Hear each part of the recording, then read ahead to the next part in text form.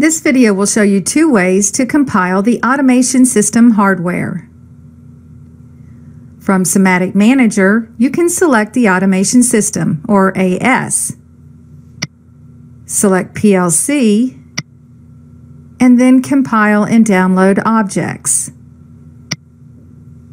The Compile and Download Objects window opens, showing the AS90 object and everything associated to it. This is because we selected the AS90 object before opening this window. Select the Compile checkbox to the right of the hardware object and click the Start button.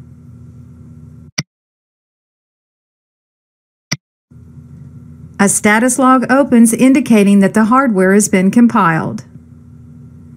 Close the log and close the Compile and Download Objects window. Another way to compile the hardware is to select the automation system, then right-click the hardware object to the right and select Open Object. From Hardware Config, click the Save and Compile toolbar button.